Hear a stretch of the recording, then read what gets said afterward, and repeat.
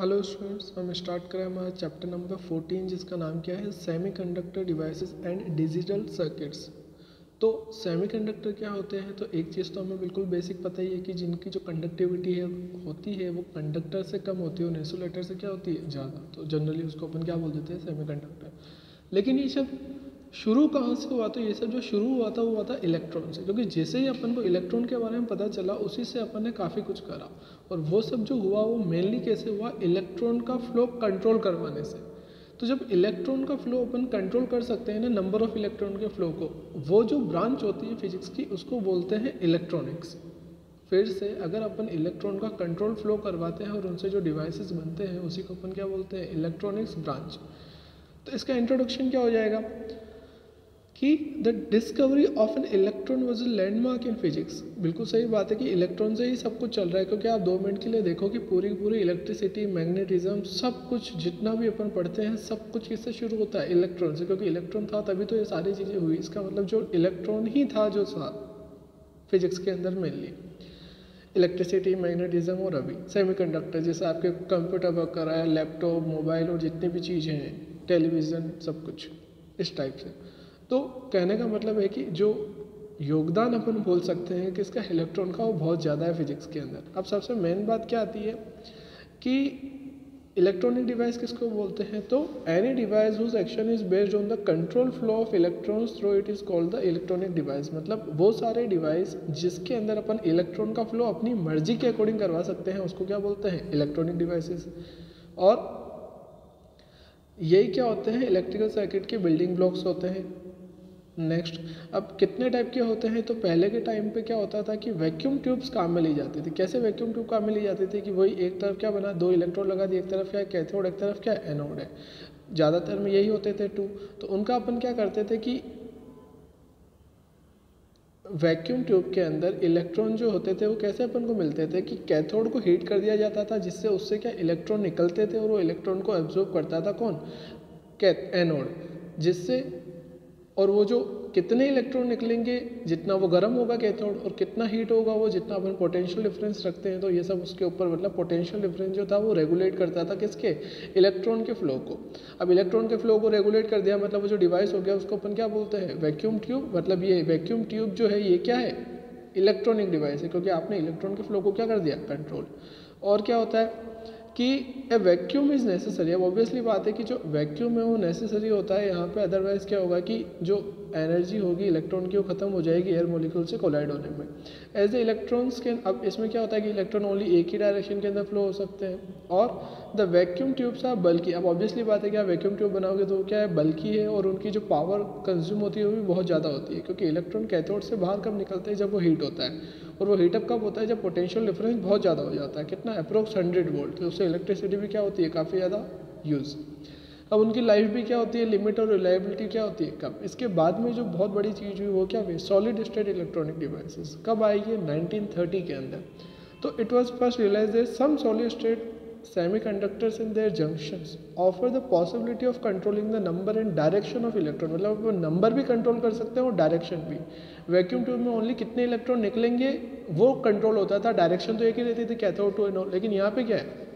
कि नंबर भी कंट्रोल हो सकता है और डायरेक्शन भी कंट्रोल हो सकती है। ठीक है सेमीकंडक्टर क्या होते हैं? बेसिक मटेरियल होते हैं जो आज अपन सब जगह काम में लेते हैं। ठीक है, जैसे अपने जो सिंपल डायोड होते हैं ट्रांजिस्टर होते हैं इंटीग्रेटेड सर्किट्स होते हैं उसके अंदर। इंपॉर्टेंट फीचर क्या है? तो सेमीकंडक्टर डिवाइस में क्या होता है कि सिंपल वहाँ पे क्या है कि हीट चाहिए वैक्यूम ट्यूब के अंदर। यहाँ पे ऐसा कुछ नहीं है, यहाँ पे लाइट से भी चल जाता है हीट से भी चल जाता है। स्मॉल अप्लाइड वोल्टेज वहाँ पर अप्लाइड वोल्टेज भी क्या था, ज़्यादा यहाँ पे स्मॉल अप्लाइड वोल्टेज से भी काम हो जाता है। कैसे होता है, ये सब अपन आगे पढ़ेंगे। तो ये सोचने की अभी रिक्वायरमेंट नहीं कि ये सारी चीज़ें हो कैसे दी ठीक है? अभी बिल्कुल बेसिक इंट्रोडक्शन चल रहा है चैप्टर का। नेक्स्ट क्लासिफिकेशन ऑफ़ सेमीकंडक्टर के मतलब जो सेमीकंडक्टर अब अपने का जो चैप्टर है, अपने को मतलब किससे है सेमीकंडक्टर से? तो कितने टाइप के होते हैं? तो दो टाइप के होते हैं। एक क्या होता है? एलिमेंटल से। अभी किसके ऊपर क्लासिफिकेशन है? क्लासिफिकेशन है on the basis of chemical composition के ऊपर ये अपन क्या कर रहे हैं? क्लासिफिकेशन ठीक है? ये थोड़ा सा आपको ध्यान रखना है। तो केमिकल कंपोजिशन के ऊपर ये जो क्लासिफिकेशन अपन कर रहे हैं, इसमें कौन कौन से होते हैं? दो होते हैं, एक क्या होता है? एलिमेंटल सेमीकंडक्टर एक क्या होता है? कंपाउंड सेमीकंडक्टर एलिमेंटल सेमीकंडक्टर अभी अपने को पढ़ने की रिक्वायरमेंट है, जो कि बेसिक है, क्या है? कौन कौन से एग्ज़ाम्पल है इसके? सिलिकॉन और germanium S I N G ये क्या होते हैं? एलिमेंटल सेमीकंडक्टर फिर अपन जो बनाते हैं, वो क्या होते हैं? कंपाउंड सेमीकंडक्टर इसके अंदर दो तरह के आते हैं इनऑर्गेनिक और ऑर्गेनिक ये उनके एग्जांपल्स के नाम जो कि ध्यान रखने हैं, ठीक है? नेक्स्ट अब ये तो बात होती है किसके ऊपर? केमिकल कंपोजिशन के ऊपर। अब बात कर रहे हैं अपन उनका सोर्स और nature of charge carrier source और नेचर ऑफ़ चार्ज कैरियर के ऊपर कितने टाइप के होते हैं? तो दो टाइप के होते हैं। एक क्या होता है? इंट्रेंसिक सेमीकंडक्टर और दूसरा क्या होता है? एक्सट्रेंसिक सेमीकंडक्टर इंट्रेंसिक सेमीकंडक्टर क्या होता है? कि प्योर सेमीकंडक्टर मतलब वो जो उसके अंदर जो एलिमेंट है, अब जैसे अगर मैं बात करूँ, कोई एक एलिमेंट है तो पूरे मेटल पूरे सब्सटेंस जितना भी आप सब्सटेंस ले रहे हो, पूरे के अंदर वही मेटल है, उसके अंदर अदर कोई आइटम नहीं है अदर कोई आइटम की इम्प्योरिटी नहीं है। वो बिल्कुल प्योर है। प्योर होने का मतलब क्या है कि उसके अंदर किसी अदर एटम की इम्प्योरिटी नहीं है। इसको अपन क्या बोल देते हैं प्योर तो the pure semi conductor impurity less than one part in ten to power ten मतलब अगर ten to power ten atom एक ही सब्सटेंस के हैं एलिमेंट के हैं तो उसके, उसमें हो सकता है कि एक आधा दूसरे का हो। मतलब इम्प्योरिटी बहुत कम अप्रोच नेग्लिजिबल होती है। प्योरिटी बहुत ज़्यादा। तो the presence of mobile charge carrier मतलब चार्ज कैरियर चार्ज को कैरी करने वाले कौन होते हैं? दो होते हैं। एक तो होता है इलेक्ट्रॉन एक होता है होल अब क्वेश्चन क्या आता है यहाँ पे कि तुमने जो है पहली बार एक वर्ड सुना यहाँ पे क्या होल कि ये होल क्या होता है? तो होल का मतलब क्या होता है वो सुनो। एक कोई भी लेटेस्ट मान लो, उसके अंदर एक बॉन्ड में इलेक्ट्रॉन है। अगर मान लो उस इलेक्ट्रॉन को एनर्जी मिल जाती है और वो इलेक्ट्रॉन बाहर चला जाता है तो उसकी जगह क्या हो जाती है? खाली हो जाती है वैकेंट हो जाती है। और वो जो वैकेंट जगह होती है, अब इलेक्ट्रॉन था वहाँ पे अब जब इलेक्ट्रॉन चला गया तो उस खाली जगह पे चार्ज क्या आ जाएगा? पॉजिटिव तो वो जो पॉजिटिव चार्ज का वैकेंट प्लेस होता है, उसी को अपन क्या बोलते हैं? होल ठीक है? बेसिक इंट्रोडक्शन सफिशियंट है आगे अपन फिर पढ़ेंगे। नेक्स्ट तो ये तो बात होती है इसकी। तो क्या होता है? इंटेंसिक सेमीकंडक्टर जिनकी प्योरिटी बहुत ज़्यादा होती है, ठीक है? और इसमें क्या होता है कि holes are essentially in an the electron vacancies with an effective positive charge. In an intrinsic semiconductor, number density of the electron is equal to number density of hole. इसका क्या मतलब है कि इंट्रेंसिक सेमीकंडक्टर पहली चीज़ क्या होता है? Pure होता है। ये ध्यान रखना है। उसमें कोई भी मिलावट नहीं है। अदर एलिमेंट की दूसरी चीज़ क्या ध्यान रखनी है कि इसमें जितने नंबर ऑफ़ इलेक्ट्रॉन होते हैं उतने ही नंबर ऑफ़ होल होते हैं। कैसे अभी अपन आगे बात करेंगे? लेकिन होता ये है ये अभी सुनना है आपको। बस। जब तक लेक्चर खत्म होगा तब तक सारी ही चीज़ें क्लियर हो जाएगी। Continue extensive conductor extensive semiconductor क्या होते हैं? वो जिनमें अपन, अब ऑब्वियसली बात है देखो नाम से पता चल रहा है। पहले क्या था? इंट्रेंसिक मतलब वो बिल्कुल क्या था? प्योर तो यहाँ पे क्या होगा? एम्प्योर मतलब इसमें अपन क्या करते हैं? ऐड करते हैं अदर एलिमेंट को। ऐड करने को ही क्या बोलते हैं? डॉपिंग करना बोलते हैं। तो the semi conductor obtaining by adding और doping the pure semi conductor pure semi conductor के अंदर अपन थोड़ी सी अपन क्या कर दें? एडिटिंग कर देते तो उससे जो बनता है, उसको क्या बोलते हैं? एक्सटेंसिक सेमी कंडक्टर तो अब उससे होता क्या है कि वो जो आने वाला जिसको अपन मिला रहे हैं मतलब जो जिसकी अपन डॉपिंग कर रहे हैं, उसकी जो वैलेंसी है वैलेंस है, वो क्या है? अपना जो अभी होस्ट अभी जो मेन एटम है, उससे क्या है? डिफरेंट है। मान लो सिलिकन के अंदर अगर आप कुछ और एलिमेंट मिला रहे हो तो उसकी जो आगे वाले की वैलेंसी होगी, वो क्या होगी? अपने से डिफरेंट होगी। ठीक है? तो इससे ये ऐसा करते क्यों हैं? क्योंकि इससे होता क्या है कि जो इलेक्ट्रिकल कंडक्टिविटी होती है, वो क्या हो जाती है? बहुत इंक्रीज हो जाती है, इसलिए अपन ऐसे मिलावट के काम करते हैं। तो the electrical conductivity of such semi conductor is essential due to the foreign item मतलब जो इलेक्ट्रिकल कंडक्टिविटी होती है, किनकी, इन कंडक्टर्स की किसकी वजह से होती है? जो आपने दूसरा आइटम मिलाया उसकी वजह से। क्योंकि प्योर क्या होते हैं ना कि उनकी कंडक्टिविटी कम होती है। क्यों? मैं अभी बताऊँगा तो उनकी कंडक्टिविटी कम होती है। तो उनकी कंडक्टिविटी को ज़्यादा करने के लिए उसमें क्या करा आपने? डोपिंग मिलाई। मतलब अदर आइटम्स को मिलाया, और उसी को, और वो, देखो, दो तरह के हो गए। पहला क्या हो गया? इंट्रेंसिक जो बिल्कुल प्योर है और दूसरा क्या होता है? एक्सट्रेंसिक जिसमें दूसरों की भी डॉपिंग है। बस ये दो टाइप के अपने क्या होते हैं? सेमी कंडक्टर क्यों करते हैं? ताकि कंडक्टिविटी बहुत बढ़ जाती है। नेक्स्ट अब बॉन्ड मॉडल क्या है? Valence bond model for the interest semi conductor अब दो अपन बात कर रहे हैं, जैसे सिलिकन जर्मेनियम कुछ भी तुम ले लो। तो अब इन दोनों में क्या होते हैं? फोर वैलेंस इलेक्ट्रॉन कितने होते हैं? सिलिकन और जर्मेनियम के अंदर फोर वैलेंस इलेक्ट्रॉन होते हैं। अब उसका अगर अपन डायग्राम देखें तो वो क्या दिखेगा? इस टाइप का दिखेगा। तो होता क्या है कि ढंग से देखना, जैसे यहाँ पे एक एटम है तो इसके पास फोर है इलेक्ट्रॉन एक इसका एक येरा दूसरा येरा तीसरा येरा चौथा येरा ये वाला मान लो। तो अब होता क्या है कि अब लेकिन चार जो जगह है वो क्या हो गई? खाली हो गई, चार वैलेंसी है तो ये क्या करता है कि चार जो इलेक्ट्रॉन बच रहे हैं वो पड़ोसी से शेयर कर लेता है। आ रहा है समझ में? तो यहाँ पे देखो, ये जो पैर बने हुए ये बॉन्ड कैसे बने हुए हैं? कि इन दोनों ने अपना ये और ये एटम जो है, दोनों में काम आ रहा है, ठीक है? अब ये वाला बॉन्ड देखो, ये वाला जो बॉन्ड है, इसमें ये इलेक्ट्रॉन और ये इलेक्ट्रॉन ही दोनों में काम आ रहा है। इसका मतलब क्या है? कि ये क्या करते हैं? आस पास आपस में अपने इलेक्ट्रॉन्स को क्या कर देते हैं? शेयर और क्या कर लेते हैं? कोवेलेंट बॉन्ड बनाते हैं। तो ये किसकी बात हो रही है? इंट्रेंसिक सेमीकंडक्टर की। अब इंट्रेंसिक सेमीकंडक्टर मतलब यहाँ पे कोई भी डोपिंग या मिलावट नहीं है। ये बात हुई थी इसकी। अब अपन बात कर रहे हैं एक्सट्रेंसिक सेमीकंडक्टर नहीं, पहले एक बार इसके अंदर एक और चीज़ देखो।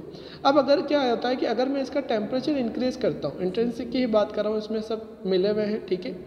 कोई भी इसमें जो है आपस के ही चार चार मिले हुए हैं इलेक्ट्रॉन, बाहर से कोई भी अदर एलिमेंट नहीं है। अब इसके अंदर क्या होता है कि जैसे ही मैं क्या करता हूँ, उसको हीट देता हूँ। किसको? इंट्रेंसिक सेमीकंडक्टर को। तो इलेक्ट्रॉन को क्या मिल जाती है? एनर्जी और इलेक्ट्रॉन क्या होता है कि बाहर चला जाता है। और जैसे ही इलेक्ट्रॉन बाहर गया तो ये डायग्राम देखो एक बार ढंग से। इलेक्ट्रॉन जो है, यहाँ जो इलेक्ट्रॉन था, वो बाहर चला गया। इसका मतलब क्या है कि वो जगह क्या हो गई? खाली। और वो जो जगह खाली हो गई, उसी को मैंने अभी थोड़ी देर पहले बताया था कि क्या हो गई? वो इलेक्ट्रॉन की वैकेंसी और जिसी को अपन क्या बोलते हैं? होल वहाँ पे बन गया। आया समझ में? मतलब अगर किसी कंडक्टर या कोई ऐसे सेमीकंडक्टर बोल दो, उसके अंदर जो इलेक्ट्रॉन है पैर के अंदर अगर उनको एनर्जी मिल जाती है हीट की फॉर्म में या किसी भी फॉर्म में तो वो क्या चले जाते हैं? उस बोन तोड़ के ब्रेक करके बाहर चले जाते हैं। और उस जगह पे क्या हो जाता है? खाली हो जाता है। और उस खाली जगह पे अपन क्या बोलते हैं? होल और एक वो जो इलेक्ट्रॉन होता है, उसको क्या बोलते हैं? थर्मल जनरेटेड फ्री इलेक्ट्रॉन तो ये तो बात होती है किसकी?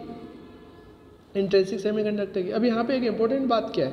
कि जितने इलेक्ट्रॉन बहुत ढंग से सुनना कंक्लूजन निकल रहा है। जितने इलेक्ट्रॉन यहाँ से बाहर निकलेंगे, उतने ही तो क्या बनेंगे? होल इसका मतलब इंट्रेंसिक सेमीकंडक्टर के अंदर नंबर ऑफ़ इलेक्ट्रॉन क्या होते हैं? इक्वल होते हैं। किसके इक्वल होते हैं? नंबर ऑफ़ होल के इक्वल होते हैं। फिर से इंटेंसिव सेमीकंडक्टर के अंदर क्या हो रहा है? आप हीट दे रहे हो इलेक्ट्रॉन बाहर निकल रहे हैं बॉन्ड ब्रेक करके।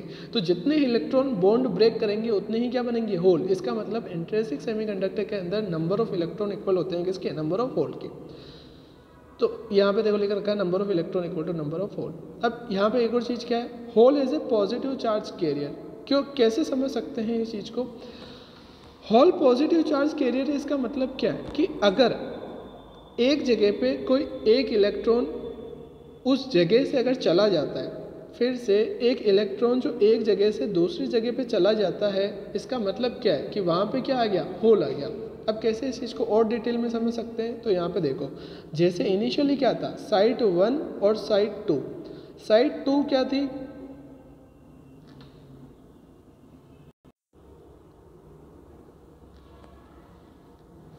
साइट टू जो है, अपने पास कितनी साइट है? फिर से एक बार देखो, अपने पास साइट है दो सेकेंड हाँ अपने पास जो साइट है, दो साइट है। साइट वन और साइट टू मान लो कि साइट वन पहले क्या है? वैकेंट है।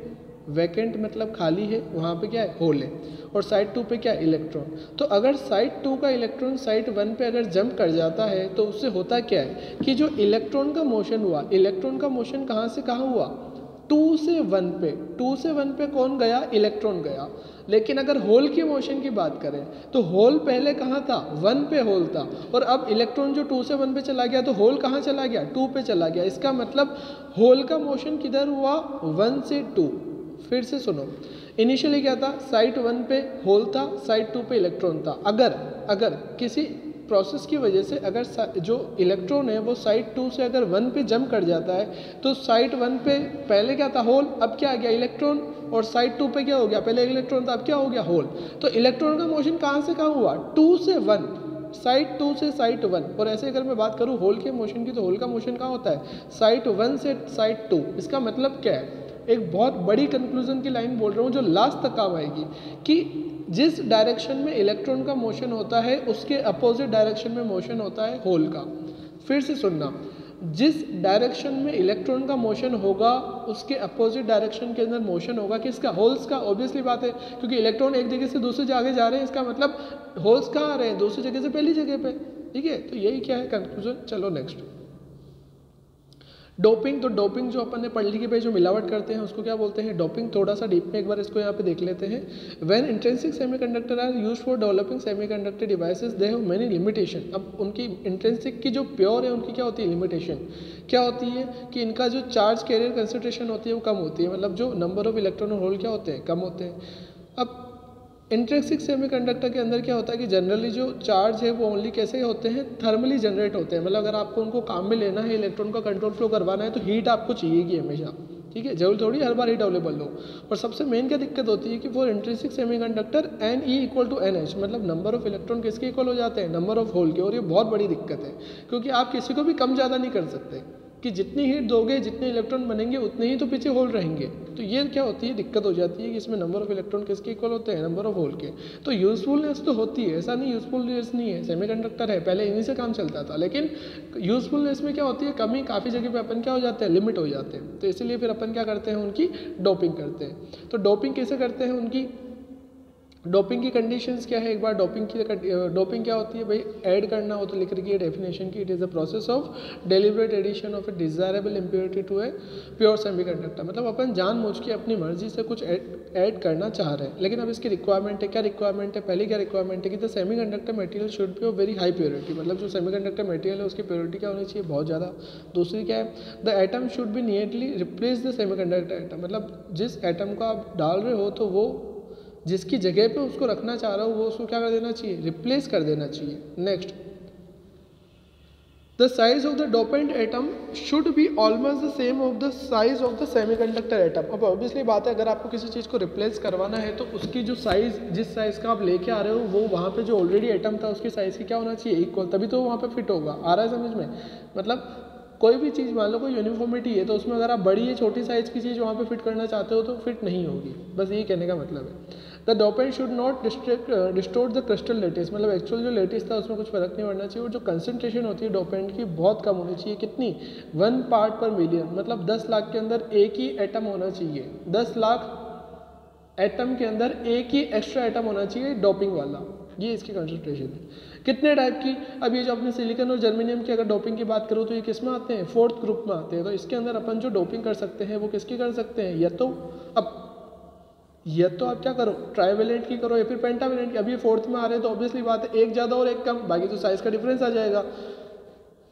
तो या तो पेंटावेलेंट की या फिर ट्राइवेलेंट की? पेंटावेलेंट में कौन कौन से होते हैं? तब पेंटावेलेंट है, इसका मतलब वहाँ पे वैलेंस इलेक्ट्रॉन कितने होंगे? फाइव फिर से पेंटावेलेंट के अंदर वैलेंस इलेक्ट्रॉन कितने होंगे? फाइव और ट्राइवेलेंट के अंदर वैलेंस इलेक्ट्रॉन कितने होंगे? थ्री तो पेंटावेलेंट के एग्ज़ाम्पल क्या हो जाते हैं? आर्सेनिक एंटीमनी फॉस्फोरस वगैरह और ऐसे ही ट्राइवेलेंट के एग्ज़ाम्पल क्या हो जाते हैं? इंडियम बोरोन और एल्यूमिनियम तो इनकी जब डोपिंग करते हैं सिलिकॉन जर्मेनियम में तो ये बन जाते हैं।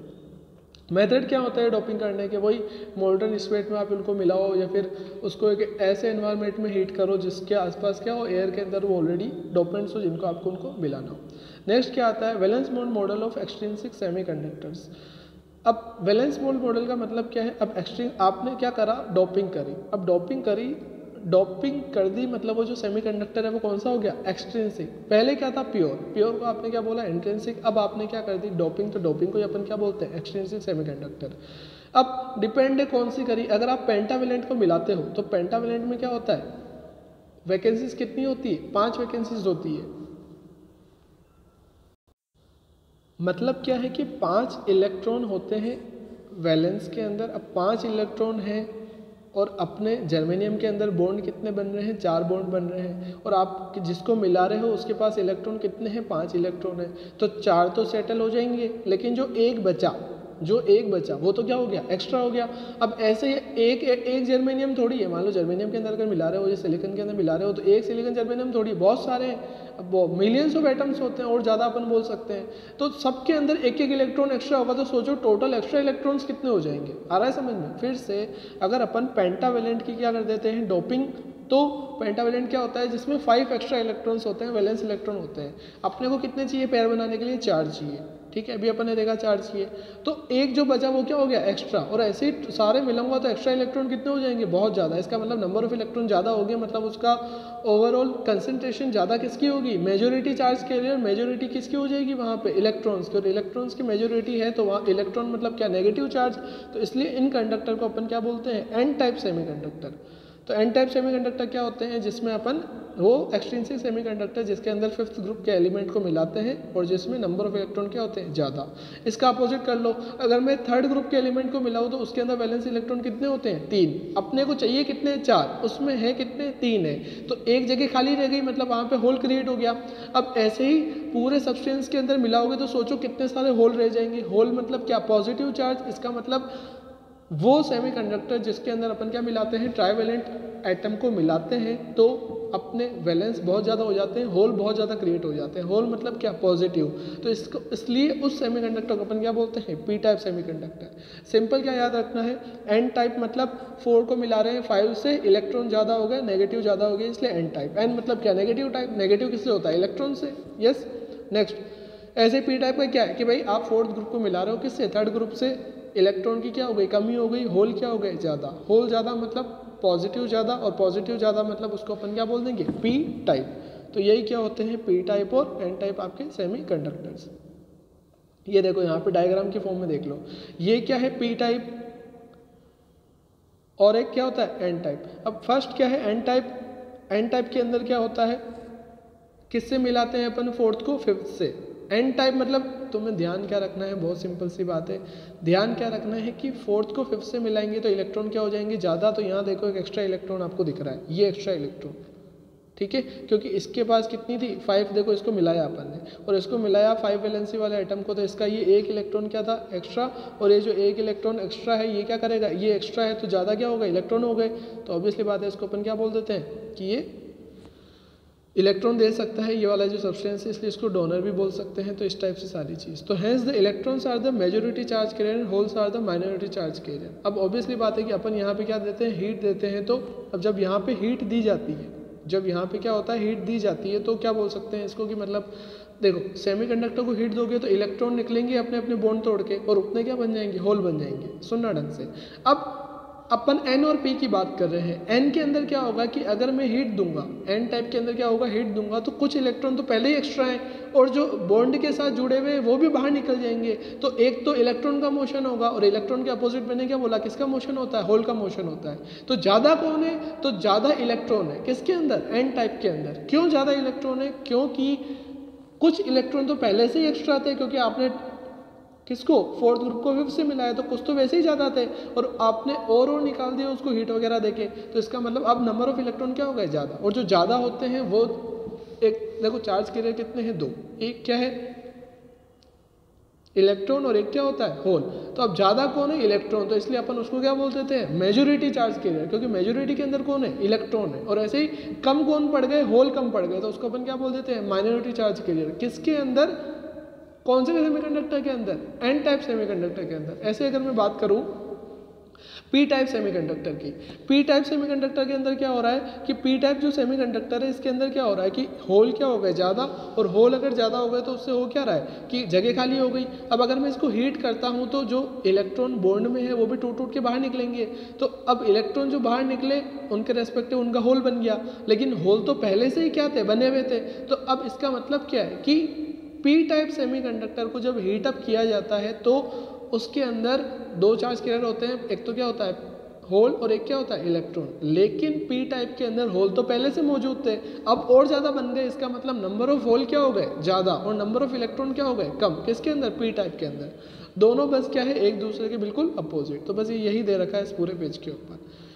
नेक्स्ट नेक्स्ट क्या आता है? एनर्जी बैंड इन सॉलिड के मतलब सॉलिड के अंदर एनर्जी बैंड कैसे होते हैं? तो from Bohr's atomic model Bohr का जो मॉडल था, उसमें क्या था कि we know that the electrons है very well defined energy level electron जो होते हैं, उनके अंदर क्या होता है कि काफ़ी वेल डिफाइंड एनर्जी लेवल होते हैं, लेकिन सबसे इंपॉर्टेंट बात क्या है कि वो जो एनर्जी लेवल होते हैं, वो कहाँ पे होते हैं? आइसोलेटेड एटम फिर से वो जो एनर्जी लेवल होते हैं, वो कहाँ पे होते हैं? आइसोलेटेड एटम लेकिन but due to the interatomic interaction in a crystal जब अपन ऐसे समझ सकते हैं कि अभी क्या है एटम्स अलग अलग है। दो मिनट के लिए एज्यूम करो स्पेस के अंदर स्पेस के अंदर एटम्स अलग अलग है। जब मैं उनको पास में ला रहा हूँ, क्या बनाने के लिए? क्रिस्टल बनाने के लिए। जब एटम्स को पास में लाते हैं क्रिस्टल बनाने के लिए तो उनके बीच में क्या होता है? इंटरेक्शन तो उस वजह से क्या होता है कि the electrons of the outer shell are force to have energies different from those in isolated atom कि अपन ने जो अभी तक पढ़ा वो किसके लिए पढ़ा? आइसोलेटेड एटम्स के लिए पढ़ा। लेकिन जैसे ही दो इलेक्ट्रॉन को,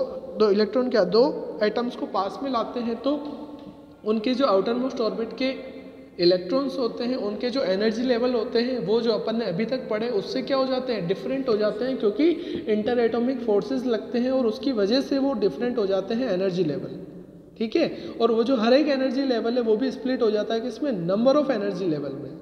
हर एक एनर्जी लेवल स्प्लिट हो जाता है नंबर ऑफ़ एनर्जी लेवल में एक कंटिन्यूस बैंड बनता है, उसको ही अपन क्या बोलते हैं एनर्जी बैंड फिर से सुनो शॉर्ट में. होता क्या है कि अपन ने जो अभी तक क्या पढ़ा कि भाई एक सेंटर में क्या होता है न्यूक्लियस उसके बाद में उसके क्या होते हैं परमिसिबल ऑर्बिट और हर ऑर्बिट के अंदर एक क्या होती है एनर्जी होती है फिक्स एनर्जी होती है. ये सब कब होता है, जब आइसोलेटेड आइटम होता है. लेकिन प्रैक्टिकली क्या होते हैं कि जब प्रैक्टिकली अपन को आइसोलेटेड एटम मिलता है क्या एक बार में कोई बताओ। आइसोलेट तो कहीं मिलता नहीं है, सब आपस में कितने मिलते हैं? ग्रुप में मिलते हैं अटैच मिलते हैं, जो अपन को नेचर से मिलते हैं और से वो भी। तो होता क्या है कि जब अपन को मिलते हैं तो अपन क्या देखते हैं कि उनके आउटर मोस्ट ऑर्बिट उनमें जो एनर्जी अपन ने डिफाइन करी थी, वैसे होनी चाहिए थी, वैसे नहीं होती। डिफरेंट एनर्जी लेवल होते हैं। कि मतलब एक जो ऑर्बिट है, उसके अंदर एक फिक्स एनर्जी होनी चाहिए थी वो एनर्जी ना होके उस एक ही ऑर्बिट के अंदर भी एनर्जी लेवल बन गए। फिर सुनना मैंने क्या बोला? इलेक्ट्रॉन का एक ऑर्बिट कितने भी ऑर्बिट है, जो परमिसिबल है, और उन सबकी क्या है? अपनी अपनी एनर्जी है। लेकिन अपन क्या देखते हैं कि हर एक ऑर्बिट की एक एनर्जी होनी चाहिए। लेकिन जब एक्चुअल में प्रेजेंट में रियल लाइफ में अपन को जब और वगैरह से मिलते हैं सब्सटेंसेस तो अपन देखते हैं कि उनके जो एटम्स हैं, उनके जो ऑर्बिट है उनके अंदर जो एनर्जी मिलती है, वो एक फिक्स फॉर्म में ना बन के एक कंटिन्यूस फॉर्म में वेरी करती है एनर्जी और वो जो कंटिन्यूस फॉर्म में वेरी करती है, एक ही ऑर्बिट की एनर्जी उसी को अपन क्या बोलते हैं? एनर्जी का बैंड क्योंकि उसी सेम ऑर्बिट के अंदर एनर्जी क्या कर रही है? वेरी कर रही है. कैसे वेरी कर रही है? कंटिन्यूस वेरी कर है. मतलब कम से कंटिन्यू ज़्यादा ज़्यादा ज़्यादा ज़्यादा, एक ही उसके अंदर एनर्जी लेवल के अंदर आ रहा समझ में? तो उसको अपन क्या बोलते थे? बैंड या फिर पट्टी.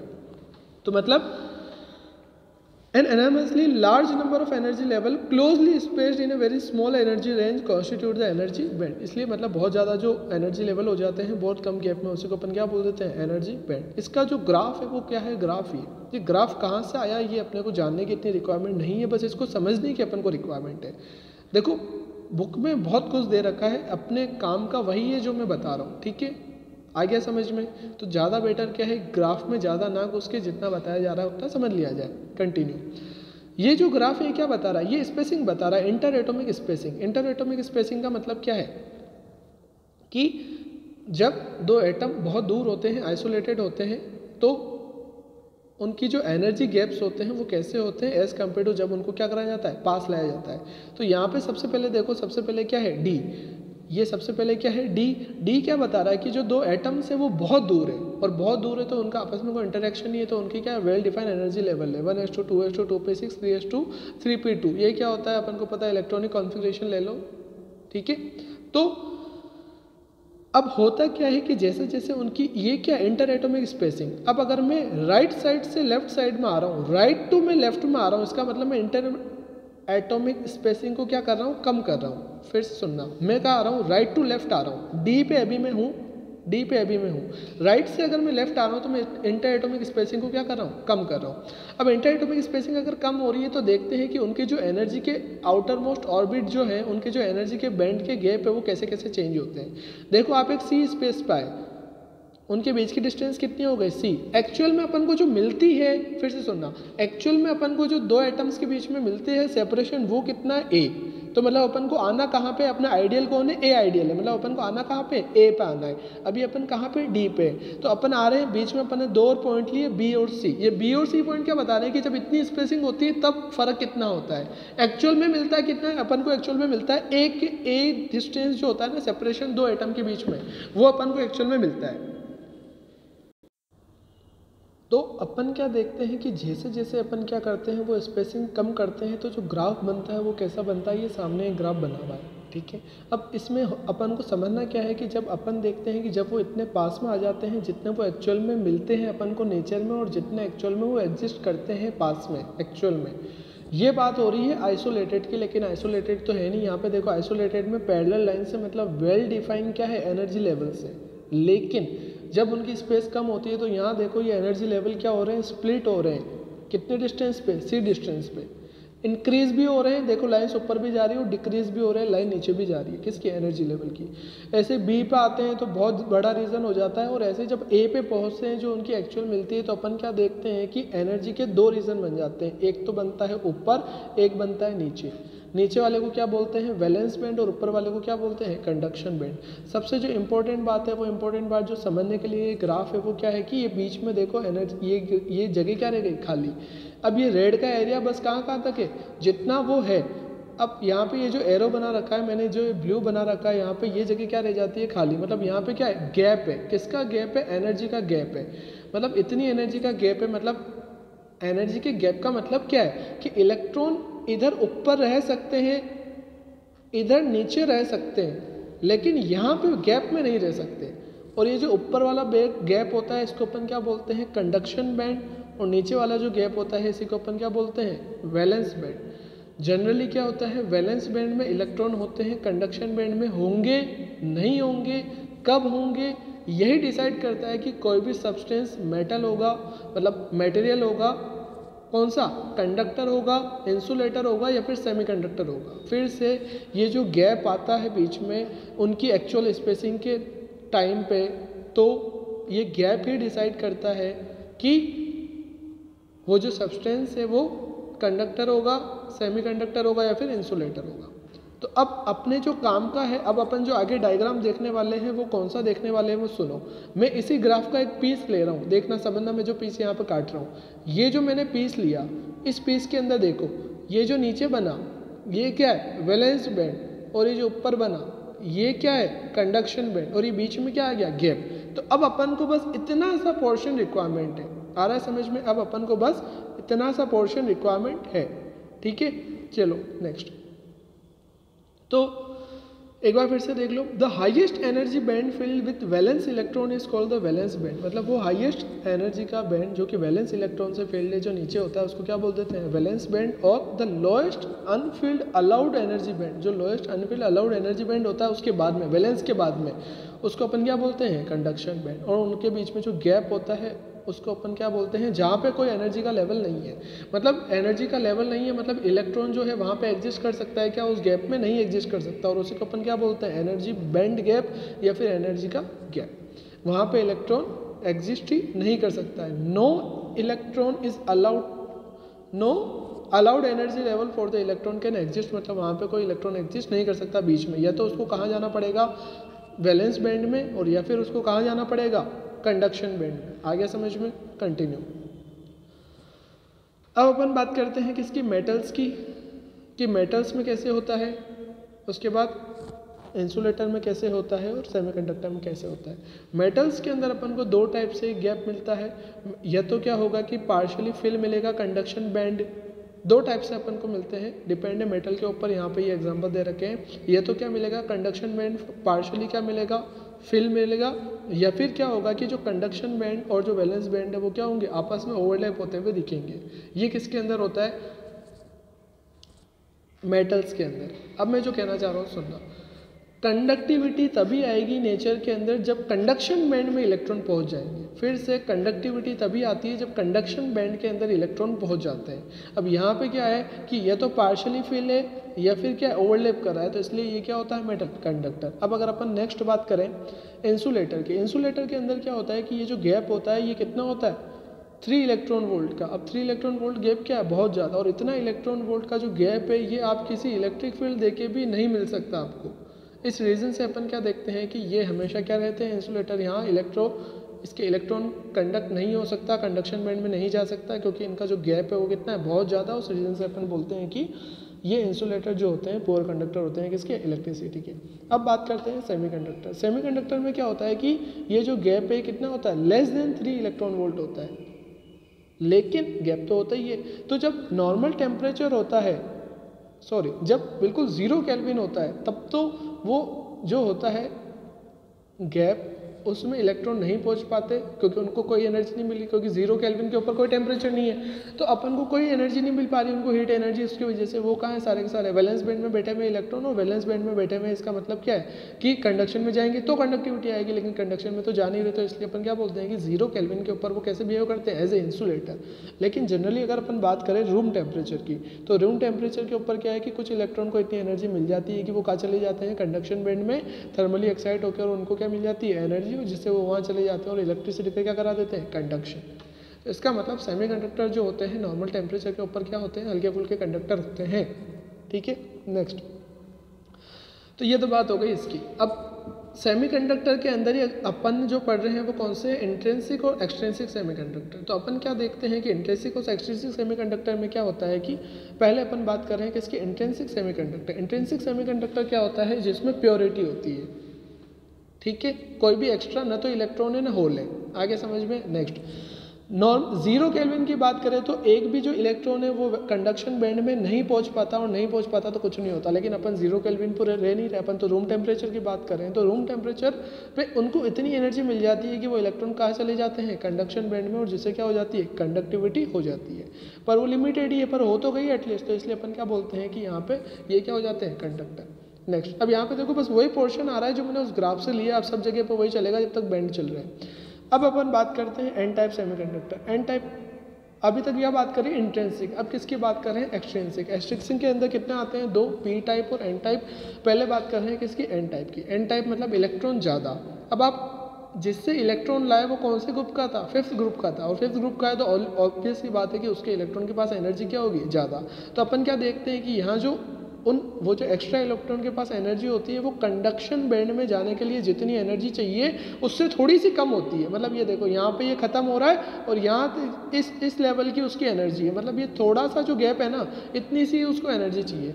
तो ये ज़ीरो कैलविन पे तो नहीं मिल पाती, लेकिन नॉर्मल रूम टेम्परेचर पर ये एनर्जी मिल जाती है। इस वजह से जितने भी इलेक्ट्रॉन फिफ्थ ग्रुप के एटम वालों के हैं, वो सारे के सारे नॉर्मल टेम्परेचर के ऊपर कहाँ होते हैं? कंडक्शन बैंड में, और उस वजह से अपन क्या देखते हैं कि वो इलेक्ट्रिसिटी का क्या करवा देते हैं? फ्लो करवा देते हैं।